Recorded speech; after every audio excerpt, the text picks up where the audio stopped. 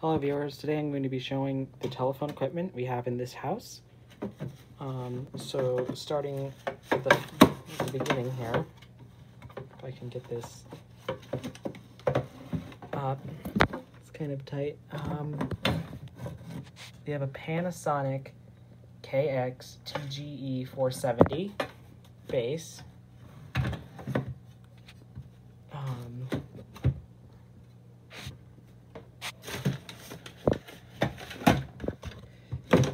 there we go. And um, a KX TGEA 40 handset.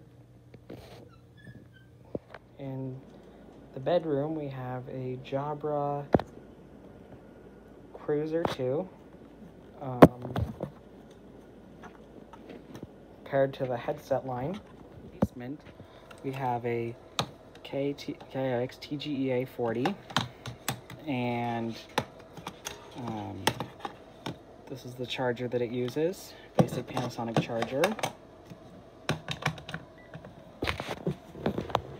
And over here, where the cord phones are, so it comes into this splitter right here. And so this is a, pull this one out. This one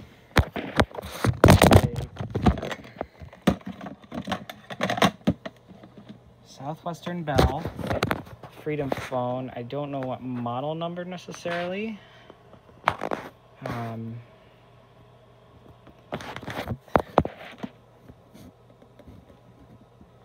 one of those numbers, maybe. Um, and we have a um,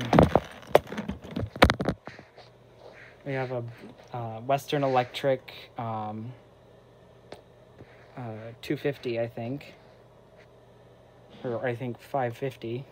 I don't know. It's the one that doesn't have the dial pad. Um, I actually had to take this apart once. I just took it apart to see what was wrong. Um, this handset um, has an issue. Um, the mic doesn't work because it got disassembled by my brother and he pulled the speaker out. So I kind of fix the speaker. You have to shake the handset to get the wires to contact. Sometimes it's really not that efficient. Um, I think this is the model number 500. Um, I think that's the manufactured date, so um, October of 1980, maybe. Um, correct me if I'm wrong on that. Um, this was my grandma and grandpa's phone. Um, uh, but yeah, this this one still works on the system. Um, because it just connects to our modem upstairs. Uh, so here it still has the Bell system property, not for sale. On the bottom. Um, Bell system, Western Electric. I can dial the voicemail from here. I can't dial it using star codes. I have to dial our home number. This kind of broke. It's it still works. This jack is fine. Um, it's the handset that has issues. I want to get like a, I don't know, maybe a Cisco 8800 series handset, even though it's not the default handset, but I just use the current handset as a, um, switch for it. Um, oh, I just found the model number on this. It's an, I don't know if you can see that, but FM2552B. Um,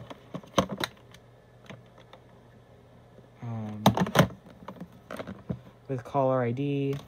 Um, I actually have this phone hooked up, um, mainly because our Panasonic system, which is our main phone, um, only stores about 30 call um, calls in the system. Oh, and one more thing I forgot to show you. Just a second. This is our digital voice adapter. Um, you can see, so our modem, this is our cable connection that's split behind here. Um, one goes to this modem, which I'll do another video about our home network um, later. And this so this used to be our internet modem. It's not anymore. Um, it's only for phone since it's cat or it's deck or DOCSIS 3. Um, I won't try to hack into this because there's nothing on it. Literally, this was just, this has been like this for a couple months now. Um, DPQ, it's a Cisco DPQ3212. Um, so yeah, uh, that's the phone system. Um, also, yeah, so this is the main base for the whole system. Because how it connects to our house is we have this, uh, it's hard to get this jack back in the wall, but it goes through here and um, connects to the, all the jacks. Um, this one is the Panasonic line, and this is the modem. Um, but that goes to all the jacks. I can show you, the wiring is really weird in this house for this. So let me go show So you. this is the telephone junction box, as you can see. Um, this wire right here is the main wire that comes in from the upstairs jack. Um, and there's, so for the, um, all the rest of the jacks in the house, even though there's all these wires going out, as you can see, well, besides this phone plug right here, that one comes down here and hooks up, even though this is like a Cat 5 wire. Um, but anyway, only one of those, I haven't found any, sorry, I accidentally hit stop recording. I haven't found any other phone jacks that aren't on this. Um, so some of them are disconnected. Up there is where the CenturyLink line used to come in. Um, so yeah, that's the phone system in this house. Um, thank you for watching and have a good day.